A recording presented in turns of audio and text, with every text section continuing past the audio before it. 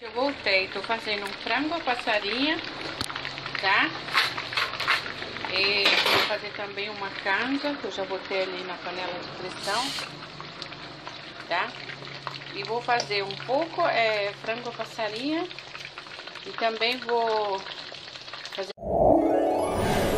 as, as asas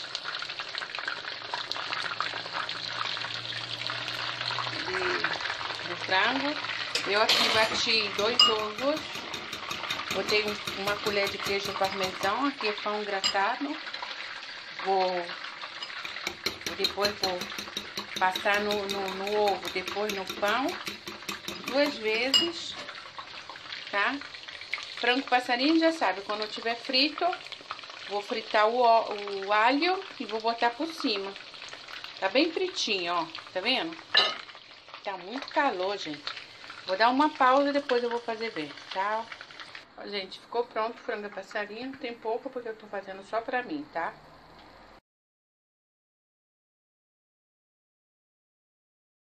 Gente, a carne já tá pronta, tá vendo? Eu botei hortelã. Vocês precisam ver o cheirinho que tá saindo aqui da, da carne, ó. Eu botei o restinho do frango o polo, o frango, botei cenoura picadinha, cebola, tá?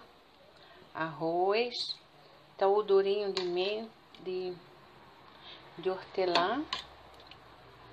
E botei um tomatinho sem semente, sem pele. Que cheirinho bom, gente. A canja tá pronta. Tchau, um beijo, próximo vídeo.